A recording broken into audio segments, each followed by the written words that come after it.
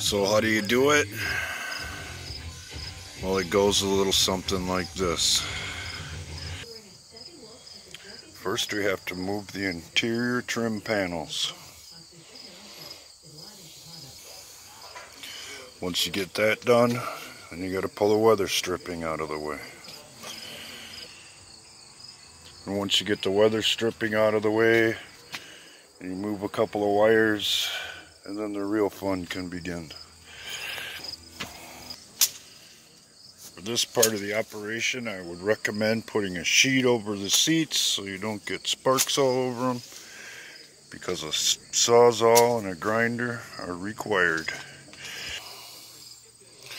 Alright, it's about 10 minutes later.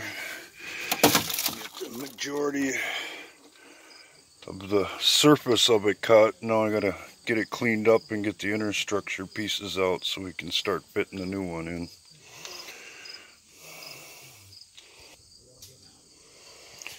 And then by the time you're done, except for a little fine trimming, it'll look something like this.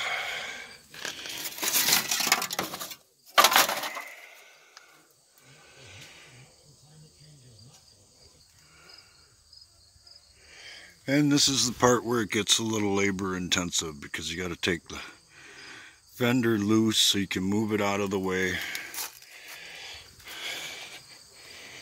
and slip the other rocker panel up into place. And there's a lot of shit to move to get that fender loose.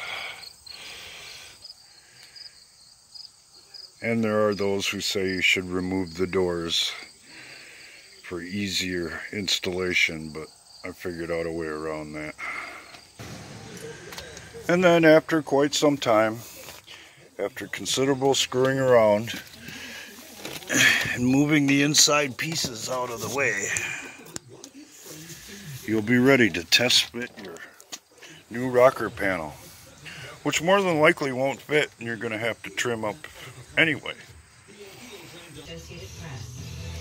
And in this particular case, more than likely, something like that. This is why, if you buy the factory replacement, plan on doing the cab corners as well. Because you ain't getting that shit up in there if you don't.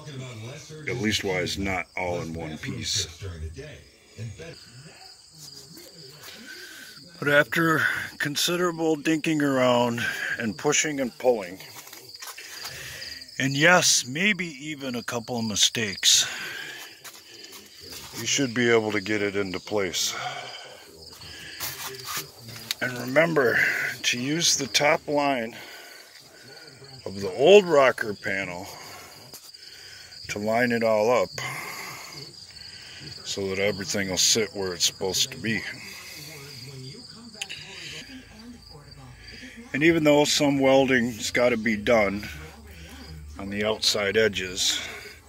I recommend rivets for the inside. It's a lot cleaner and it won't screw up the weather stripping when you put it back on there. And there is a little welding required because when you leave the doors on, there's just certain places you ain't getting the drill. So, basically that's what we got. I got to cover it up with a little paint so it doesn't rust out right away. And bear in mind what it looked like before and what it looks like now. Because it may not be perfect, but it's a hell of a lot better than it was. And then after all that, you simply reverse the process. And you used to be the college students and people would comprehensively a variety of subjects from philosophy to politics.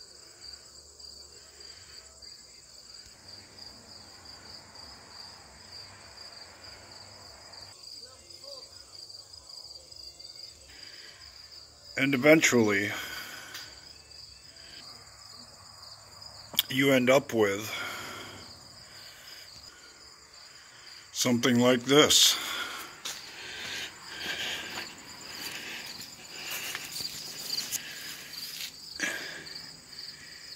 Is it perfect? No.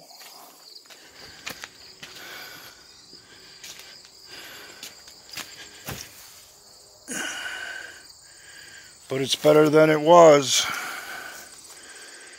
And that's always the aim here at Last Chance Auto Repair.